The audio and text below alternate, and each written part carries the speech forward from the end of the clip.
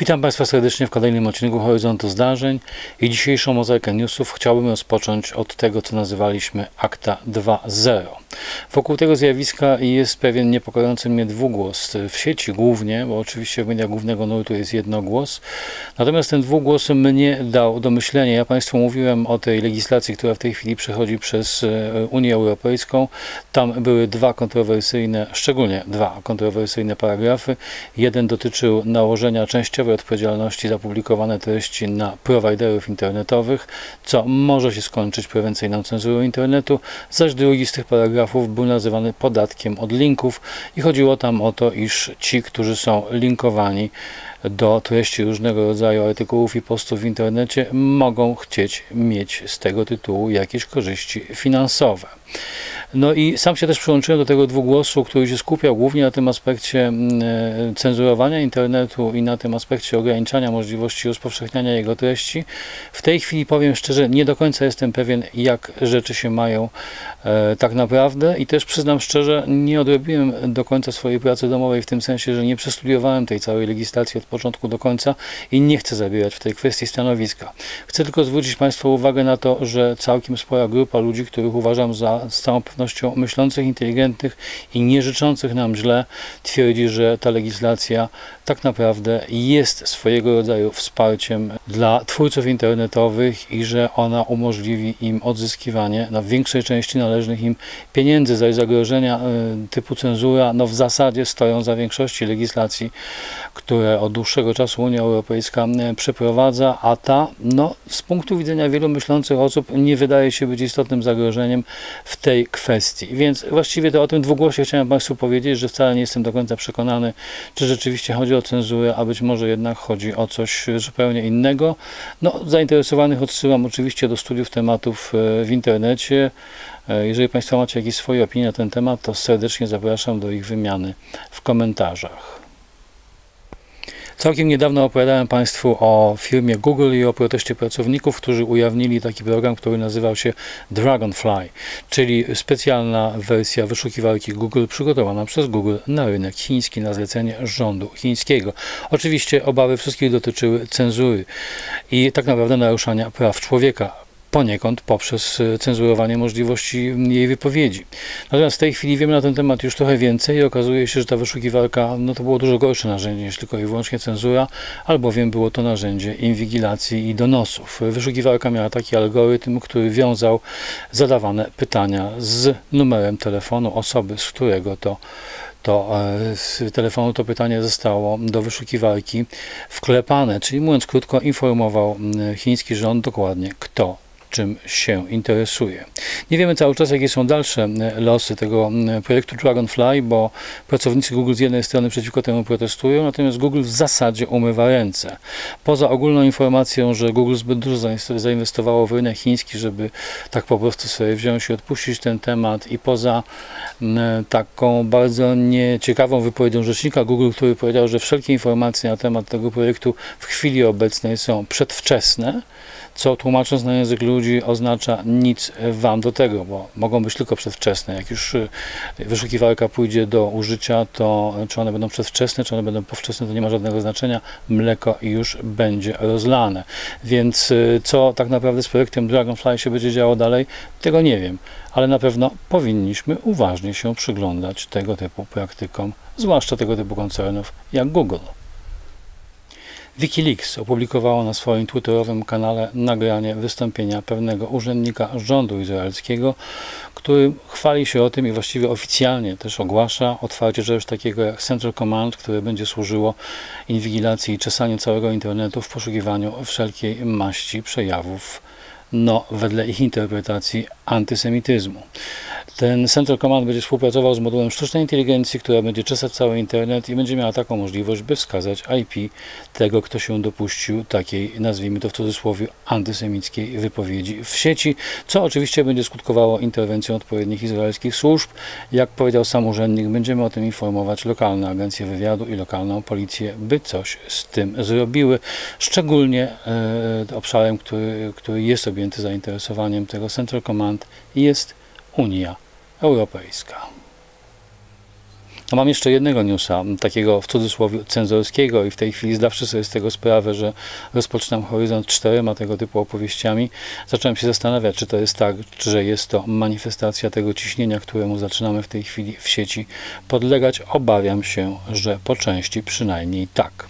Ta ostatnia wiadomość tyczy się Europejskiego Trybunału Praw Człowieka, który po pięcioletnim procesie orzekł, iż informacje, które ujawnił Edward Snowden 5 lat temu na temat skali, metod i sposobów inwigilacji, które prowadziła brytyjska GCHQ, czyli no, można powiedzieć ichnia siedziba wywiadu i odpowiednik amerykańskiego NSA.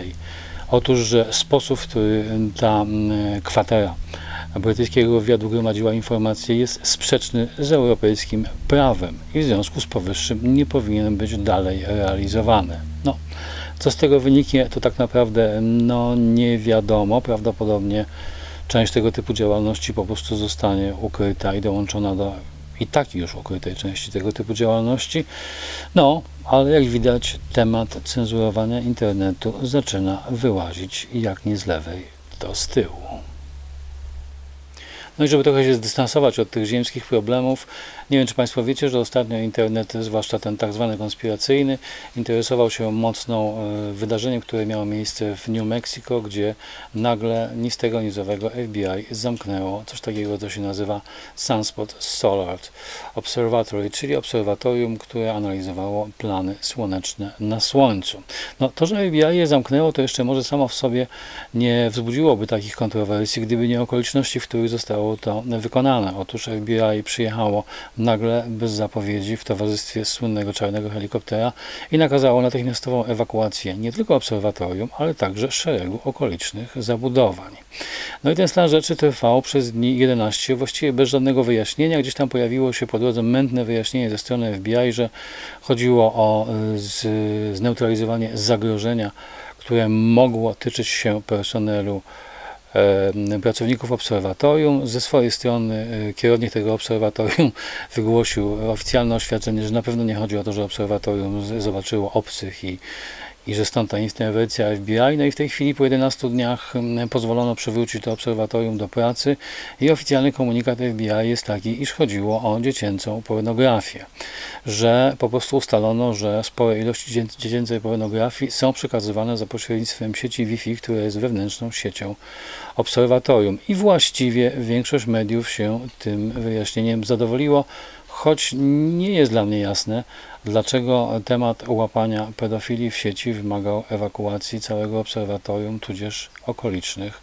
zabudowań. No, ale tyle wiemy, co wiemy. Obserwatorium wróciło do pracy i w tej chwili już wiemy, jak wyglądają nowe plamy na Słońcu.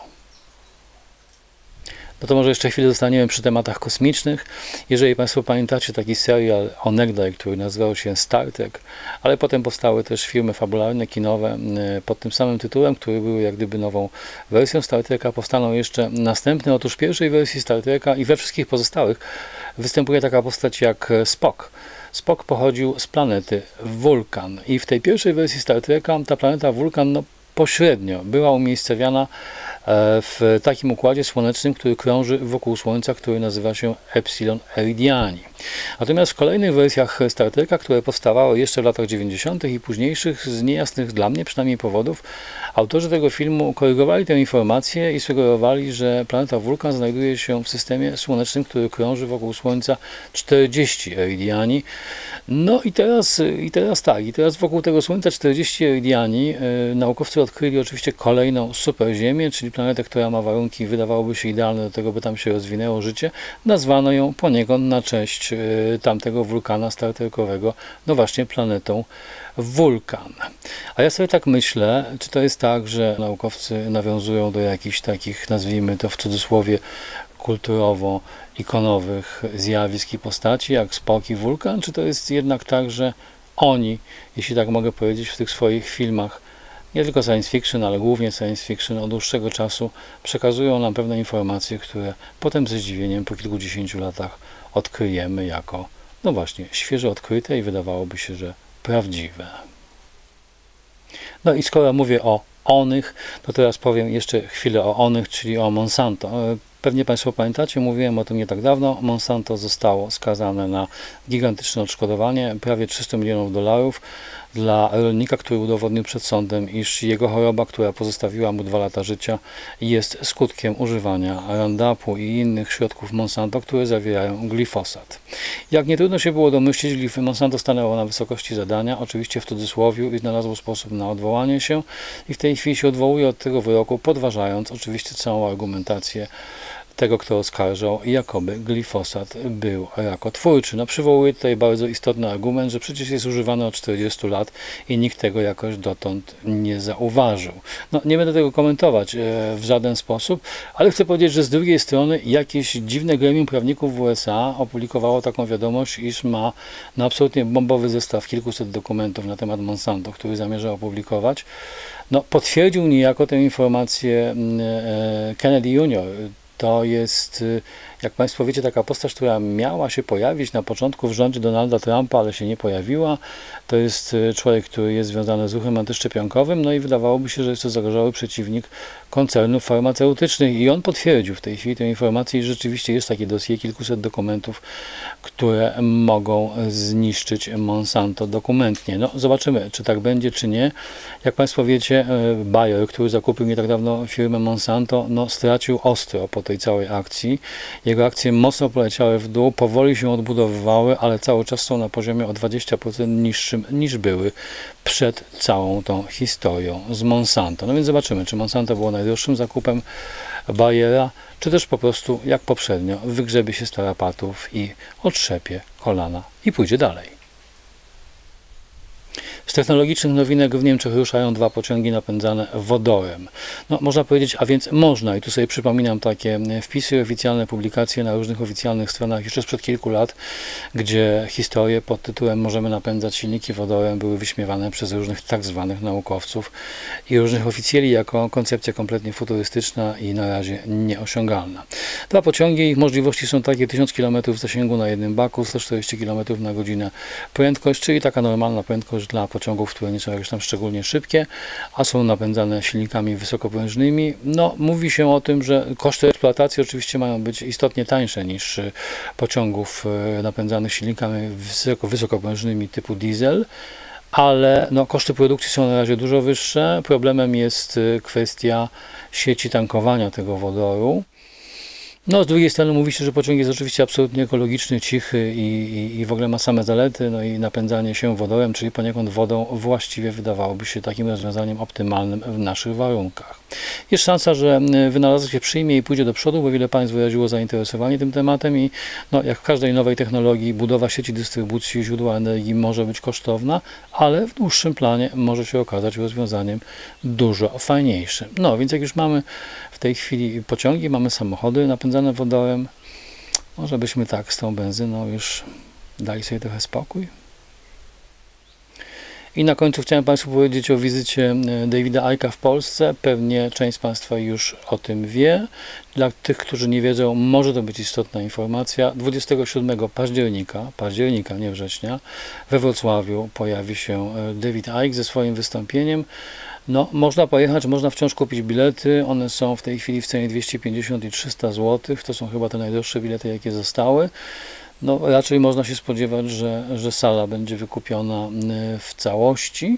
27 października Wrocław, dla tych z Państwa, którzy są zainteresowani, myślę, że to może być gratką. Kim jest David Icke, mówić nie będę. Jak ktoś nie wie, to i tak nie pojedzie, a jak ktoś wie, to może się nad tym zastanowić. I to wszystko na dzisiaj. Dziękuję serdecznie i do zobaczenia następnym razem.